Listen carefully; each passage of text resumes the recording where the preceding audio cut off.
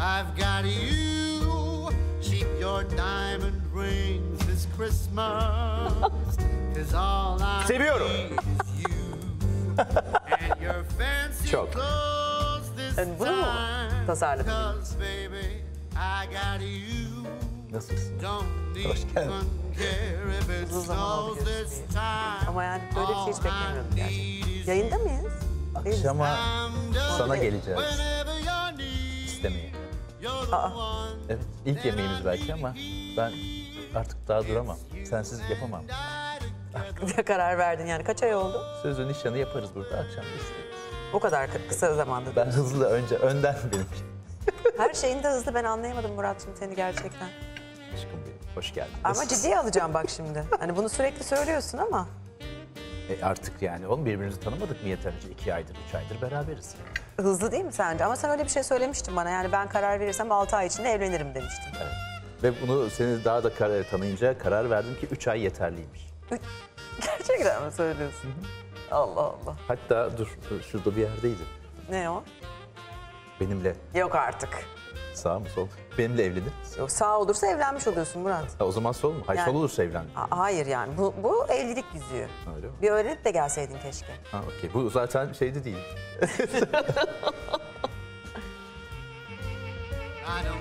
Hayırlı olsun izdivacımız. Teşekkür ediyorum. Çok romantik bir ortam ya. ne oldu Ebru'cum inanamadın mı? Şimdi sen gerçekten birini bu şekilde yemeğe götürüp bu şekilde evlilik teklif etsen direkt sana hayır derim derler. Neden? Çünkü nedeni efendim şimdi gelecek sizlere. Ee, Gökhan Dumanlı bizlerle. Kendisi iletişimci, yazar, zarafet uzmanı ve çok çok sevdiğim e, bir aslında e, iletiş- iletişimci kendisi. E, bizim yaptığımız, yapmamamız gereken hatalar hangileri mesela? doğru? Bakma öyle bana. Allah'ım ya Rabbim olayın etkisinde kaldı Murat şu an. Aşk hoş. Evet, bir bakalım efendim aslında nasıl yapılmalıymış tüm bu hareketler bakma. It's you and I together for bilek masaya değecek. Erkeklerde bacak açıklığı omuz hizası kadardır. Adab-ı muaşeret deyince aklınıza başınızın üzerindeki kitapla yürümek gelmesin yalnızca değil mi? Kesinlikle yağda muaşeret deyince böyle köyden kente gelen adamın ve kadının değişim hikayesiymiş gibi. Halbuki bundan çok daha fazlası. Gökhan Bey merhaba. Merhaba, yorgun musunuz biraz? Yo değilim neden? Çok zayıf geldi bu tokalaşma. Hiç hissetmedim. Öyle mi? Yanlış mı yaptım? Daha iyi olabilirdi. Günlük hayatımızda belki de hiç dikkat etmediğimiz görgü kuralları vardır. Mesela tokalaşma. Yanlış yaptım ama doğrusunu öğrenebiliriz. Yanımızda iletişim ve zarafet uzmanı Gökhan Dumanlı var ve bize adab-ı muaşereti gösterecek. Hazırsanız başlayalım. Avuç içlerin birbirine değiyor. Parmaklar bu şekilde duruyor. Göz teması kuruyoruz. Çok sallamıyoruz. En büyük yaptığımız hatalardan biri bu. Öne doğru çok eğilmiyoruz. Her zaman dik duruyorum. Eğri oturup doğru konuşalım der atalarımız ama yok öyle. Eğri oturmak adab-ı muaşeretle nasıl yapacağız? Erkeklerde bacak açıklığı omuz hizası kadardır. Eller her zaman dizlerin üstündedir. Kadınlar daha zarif görünmek için hafif yan ve bacaklarınız bitişik. Mesela Ebru Akel çok güzel oturur, çok zarif oturur. Bir Ebru Akel oturuşu vardır mesela Türkiye'de. Murat, Murat Bey'e ilerleyen dakikalarda gelelim tekrardan. Gökhan Bey şimdi siz hem bireylere hem kurumlara dersler veriyorsunuz. Kitaplarınız da var ama biz yani bu işe ilk kez girecekler nereden başlamalı? Örneğin bir iş görüşmesine gittiniz, iş görüşmesinde nasıl davranılır, kartvizit nasıl sunulur, iş yemeğine gittiniz, yemek nasıl yenir. Bütün bunların hepsinin tüm dünyada kuralları var. Mesela kart vizitimi yeni tanıştığım birine nasıl sunmalıyım? Mesela şu şekilde kart uzatanlar var. Hiçbir şey ifade etmez karşı taraf için bu. İsmimin ve soy ismimin yazılı olan tarafı sizin okuyacağınız şekilde kartı da kapatmadan şu şekilde sunmak. Geldik benim için en zor kısma inanılmaz kafa karıştırıcı. Bence bir restoranda bu kadar çok çatal, kaşık ve tabağın olması. Şöyle. Ne yapacağız? Bunları dıştan içe doğru kullanacağız. Her zaman siz masaya yakın duracaksınız. Masaya oturduktan sonra ilk yapacağımız iş ellerimizin her zaman masanın üzerinde olacağını bilmek. Bileklerde evet çok güzel. Diyelim ki yemek yiyorum ve sizinle sohbet ediyorum. Şu çarpı işareti bakın şöyle bırakıyorum. Bu yemeğe devam ettiğimi gösterir. Olur da yemeğim bittiyse artık 4'ü 20 geçe dediğimiz şu pozisyonumuz yemeğimin bittiğini gösterir. 4'ü 20 geçe unutmuyoruz. Bir de şunu çok yapıyoruz. Yemek varken ellerimizi yemeğin üstüne getirip şu şekilde evet Yanlış mı? yanlış. Hep bilek masaya değecek. Hele bir iş yemeğindeyseniz bu o kadar önemli ki. Çünkü ellerin görünür olması sizin kendinize güvendiğinizi, özgüvenli olduğunuzu ve masa adabı konusunda da bilgili olduğunuzu gösterir. Ellerim altta olduğunda bir iş yemeğinde kendime güvenmiyorum ben mi demek istedim. Evet. Eğitimci ve yazar Gökhan Dumanlı bizlerle. Gökhan'cığım hoş geldin. Hoş, Hoş bulduk geldin. efendim. Hoş bulduk Murat Bey. Nasıl buldun canlandırmamızı? Harikaydı. Murat Bey'in beden dilini fark ettiniz değil mi? Siz mesafeyi hep koruyan bir kadın beden dili vardı sizde. Ben? Mesafe ama Murat Bey tam böyle şey flörtöz, öne doğru eğilen, ilgisini gösteren Bak ama biraz böyle ufak beyaz yalanları da olan bir adam beden dili vardı. Ama hiç kanmadınız. Tebrik ediyorum Ebru. Nasıl kanayım Gökhan'cığım? Valla 30 saniye içinde bu kadar oldu. 30 saniye. Hani kanarsan beni uyarın lütfen. Gerçekten söylüyorum. Şimdi diyelim ki şaka bir yana çok teşekkürler geldiğin için. Ee, Murat'la biz birbirimize hep böyle Biliyorum, takılıyoruz biliyorum. dermiş. Şimdi diyelim ki Murat beni gerçekten bir yemeğe getirdi. Harika. Ee, şöyle bir masaya beni bir önce davet etmesi gerekir mi? Nasıl geldik girdik içeri. Kesinlikle. Bir erkek her zaman kadına o centilmenliğini göstermeli. Kadının kıyafeti, ayakkabısı her zaman uygun olmayabilir. O yüzden geldiğinde önce o sandalyeyi çekmeli. Ama nasıl çekmeli? Buyurunuz Murat Geldim. Bey. Ebru'cum sen de geliyorsun. Şöyle aldım efendim. Nasıl? Harika. Mesela sürmedi. Ha. Evet bu değil mesela. Kaldırarak Yanlış. aldım. Doğru. Kesinlikle. Bravo. Bir de biliyor bazıları da çok ağır oluyor ama. Kesinlikle. Onu ne yapacağız orada? Ne yapacağız? Biraz hafif, Hafif şöyle. çevireceğiz. Zaten o sırada hanımefendi hemen sağ tarafından sandalye. Buyurun. Evet. Sağdan Ebru'cum. Geleceğiz. Ben de hafif şöyle. Ve evet. Şöyle öpücük olmaz. İlk. E, e, ilk yemekte evet kesinlikle. kesinlikle. Peki. Oturduk. Geldik hemen beyefendi de normal şartlarda karşısına oturur. Evet. Ee, partnerinin hemen peçetemizi açarız bu sırada. Bu peçete. Evet bez peçetemiz olarak düşünelim bunu. Peki önce kadının mı hamle alması gerekir? Şey değil mi masaya oturduğunuzda Evet. ama tabii yani normal kendi masanıza oturduğunuzda bir kadın erkek yemeğe çıktığında evet kadın peçetesini çıkartır ve e, dizlerinin üstüne serer. Genelde tabağın altına falan serilir. Bunu istemiyoruz. Tabağın altına. Evet değil direkt kucağımıza Murat seriyoruz. şurasına falan takabilir yani. Yani her an öyle bir potansiyel görüyor Çorba içerken gibiyiz. Sen gel bakayım. Sen nereye Böyle takarsın? olmaz. Böyle takmıyoruz. Hayır şöyle koyuyoruz. İşte bu kadar. Buyurun. Çok kibar. Aynen O öyle. yemeği Şahane. Buraya kadar iyiyiz. Buraya kadar Peki. her şey yolunda. Gayet Geldik. güzel. E, garsonla iletişim her zaman erkeğe aittir. Şu. İşte bunu yaptığımız an siz hemen o haneye bir eksi yazıyorsunuz Tabii. bir da- kere. Eksi yazdım. Ah daha da fenası. Değil mi? Birader. Allah. Ya böyle ne güzel, ne Kardeş. güzel. İşte harika. Bunların hepsine çarpı. Bunlar yok. Ha. Değil mi? Bir göz teması ya da hafifçe elimizi kaldırıp çağırıyoruz. Evet çok sık yaptığımız hatalardan biriydi. Taksi çok güzel ister gibi. Kesinlikle böyle bir şey yok. Taksiyi sen öyle durdurabilirsen ne hala Değil mi? Harika. bugünlerde. İstanbul'da. Peki. Peki burada bir takım çatal bıçaklar var böyle boy boy renk renk nasıl yapacağız bunu? Hemen gösterelim. Bunun matematiği dışarıdan içeriye doğru. Demek ki bana en dıştaki kaşıkla çorba ikram edilecek başlangıç Ha, olarak. çorba olduğunu anlıyorum Kesinlikle o kaşığın anda. tek görevi çorba ikram edilmesi. Evet. Hemen ardındaki çatal ve bıçağım ana yemek çatalı ve bıçağından daha küçüktür. Evet. Demek ki bana ara sıcak ikram edilecek. Ha, bu da ara sıcak. Bir zeytinyağlı olabilir, enginar olabilir, bir paçanga böreği olabilir. Aha. Onlar da benim ara sıcak Ara çatalım ve sıcağı bu bıçağımdı. tabakta yiyorum. Ara sıcak için belki küçük bir tabak daha Geliyordur. gelebilir. Ana yemekten daha küçük. Evet. Ve en sondaki en içte kalan çatal ve bıçağımla da ana yemeğimi yiyorum. Peki e, nasıl Çok masraflı olmaz mı bu kadar? ha, pardon onu daha sonra Onu, konuşuruz. onu, onu en sona. Ee, Çok yeme, yemeyeyim Çok mi? yeme evet. Çok yeme. Ateş pahası. ilk yemeğin günahı Ha, olmaz. peki. Orada artık her şeyi göze Onu alacağız. erkek ödüyoruz değil mi o kesin Evet, yani? mümkünse, mümkünse o centilmenliği göstermesini istiyoruz erkeğin tabii. Peki. Hemen bunu da göstereyim. Şu büyükleri size verelim. Ara sıcak çatalımıza, bıçağımızdan ziyade ana yemeği aldık. Evet. Eğer yemeğe devam ediyor, bir taraftan da sohbet ediyorsanız çarpı işareti dediğimiz çatalı üste koyacağız. Bıçağımız işte bu. Harika. Bu hem sohbet ediyorum hem yemeğe devam Ve ediyorum. seni dinliyorum mu demek? Kesinlikle. Çünkü çatal bıçak elimizde konuşmak hoş bir görüntü değil. Gökhan'cığım affedersin bir araya gireyim. Bu arada yani tabii erkekler böyle oturmayacak elbette değil mi? Hani ben şu anda normalde burada olmam Tam lazım. karşısında Hani size olacak. dönmemek için efendim. Yani size Harikasın. arkamı Ay, dönmek. sen dizimin dibinden Düşünsene böyle ayrılma. oturmuşum. Benimle evlenir misin? Güzel. Ay, yanıma oturmuş lokmalarımı sayıyor. O direkt o oturuş. Mesele Lokma o. sayma oturuşu. Lokma sayma oturuşu dizimin dibinden ayrılma sen lütfen. Bir de bitince de 4'ü 20 geçe dediğimiz bir pozisyonumuz vardı. Şu Evet, efendim? evet harikasınız. Evet, 4'ü 20 Burada geçe 4'ü böyle. 20 geçede. Peki ben se- mesela ben şöyle yapabilirim. Bu ne demek? Aslında yurt dışında bazen denk geliyoruz buna. Bu da hani yemeği bitirdikten sonra bazen çatalın içinde bıçak bırakılabiliyor. Ama daha evrensel olan beni gösterdiğim iki hareket bütün dünyada geçerli. Bu yemeğimin Şu mu? bittiğini Lütfen gösterir. gösterir misin? Evet evet.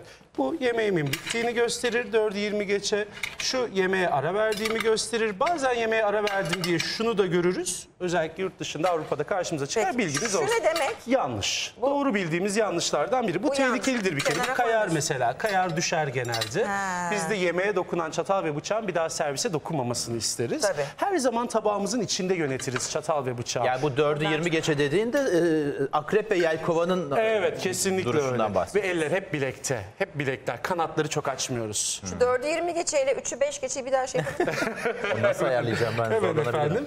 Bize göre tabağımız buradaysa şu bakın hani dediği gibi Murat Bey'in akreple yay, yaykovan gibi düşünelim. Ne anlama 4-20 geliyor? geçe. Yemeğin bitti anlamına Bitti. geliyor. Evet Buraya. akılda Yani- kalsın diye biz 4-20 diyoruz ama çatal ve bıçağın yan yana birbirine paralel şekilde duruşu yemeğimin bittiğini gösterir. Şu şekilde bitiriyoruz. Yani Evet. bu akşam kız arkadaşlarını ilk kez yemeğe çıkaracaklar ya da eşine bir sürpriz yapacaklar varsa önemlidir yani. 10 yıllık evliliğin de olabilir ama seni o akşam böyle grand tuvalet Kesinlikle. yemeğe götürür.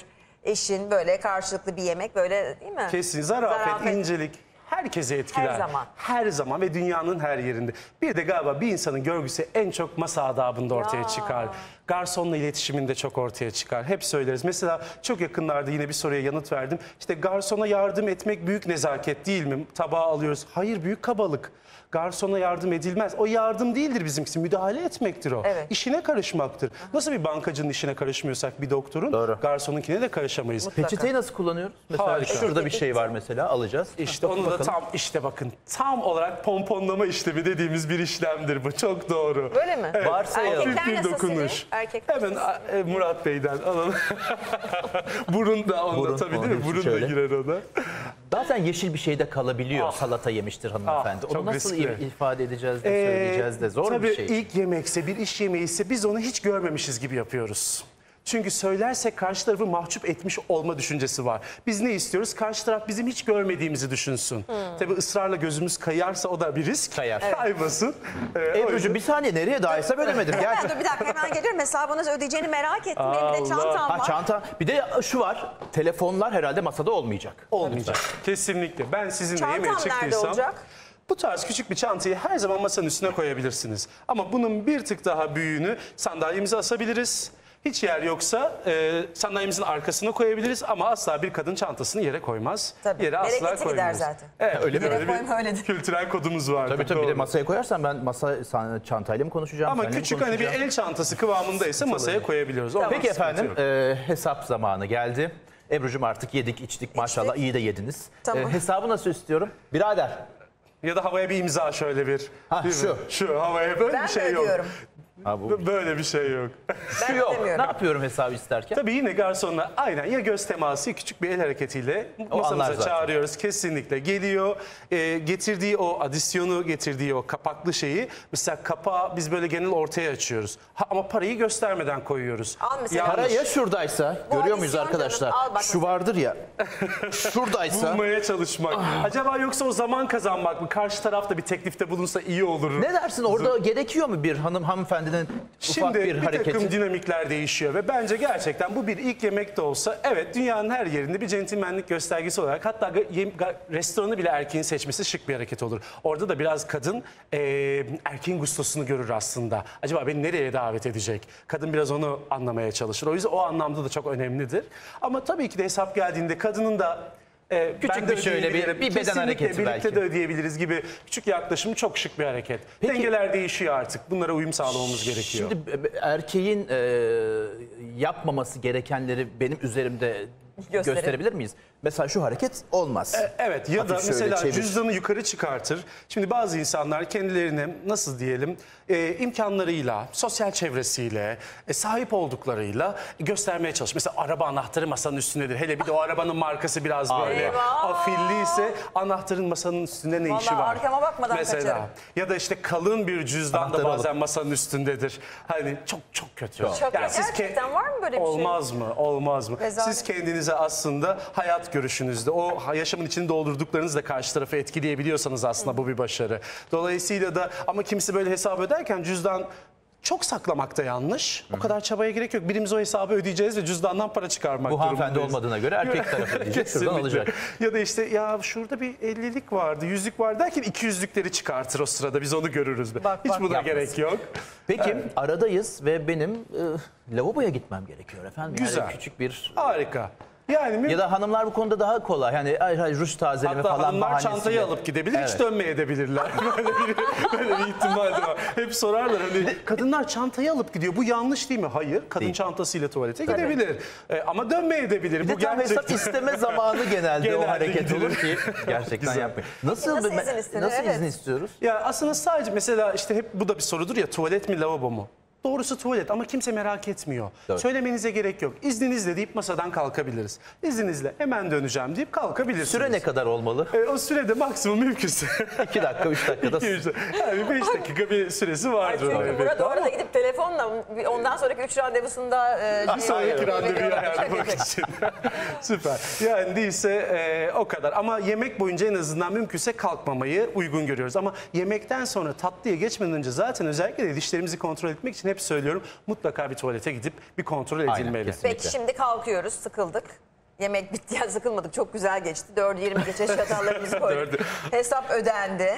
Ee, Bahşiş de rujlar muhtemelen- tazelendi. Kız Bahşiş tarafı dediğim ödemeyeceğine göre hepsini ben ödedim. Peki o zaman tip diyelim. Tip. bahşiş. Peki kalkıyoruz nasıl oturmamız gerektiğini e, istersen bize O zaman anlatıver. Önce, önce sizi alıyoruz koltuğa. Şimdi beni Ha, kaldırıp çanta, tamam. götürüyorsun. Şimdi beni bir sandalyem çekecek mi tekrar Bir dakika, kendini- ben Yok, geldim. Artık kalktı o ama kadar bekliyor. değil. Belki bir ceketiniz vardır, bir paltonuz. Ha, Onun evet, için gel bir yardımcı giydir olması bana. şık olur. Bana bir Oh, yardımcı ol. Harika oldu Mesela. şimdi. Şimdi böyle böyle. Çocuğum. Hah, Yok böyle bir şey çocuğum çocuğum. Çocuğum. Yok ben arkamdaydım. Ceketinizi aldınız. teşekkür. Çok güzel bir keyifli bir yemekti. Çok teşekkür ediyorum. Düzelttim. Deyip de. yan masaya. Saçımı da Dışarıdan da düzelttim. izleyiciler görür. O kadar güzel bir resim ki. Çok hoş değil mi? Çok hoş bir resim gerçekten. kadar zarifsin. Küçük küçük detaylar Peki. ama çok önemli bir Evet. resim oluşturuyor. Tamam çantayı aldık. Çantayı da aldık. Nasıl tutacağım ben bu Evet, çantayı? Harika. O çantayı tam olarak el çantasını bu şekilde tutabilirsiniz. Oraya da alabilirsiniz. Evet. Bu bir kılaçtır. O yüzden de evet hiç yanlış değil. Burada da taşıyabiliriz bunu. Hepsi olabilir. Bu da bu da olabilir. Evet saplı bir çanta olsaydı onu biraz daha belki konuşabilirdik. Varsa da arkadaşlarımızdan alabiliriz hani sap olan ama şunu tam olarak yanımda evet e, şurada şu şekilde Hemen aldım sizden. Belki şu şekilde yine tutabilirsiniz. ya da az önce yaptığınız gibi koltuğunuzun altında da şu da şekilde. olabilir. Evet çok şık. Gayet şık bir taşıma Peki şekli. e, nasıl yürürüz? Mesela merdivenden çıkarken bey önden mi gitmeli, kadın mı önden gitmeli? Çok güzel. Merdiven çıkarken aslında erkek bir adım arkada ama yandadır. Yani mesela şuradayım. Neden? Topuklu ayakkabınız var. Siz bir adım önden çıkıyorsunuz. Ben de yan tarafınızdan çıkıyorum. Olası bir durumda erkek kadını korusun diye. durum yani düşersem Düşerse.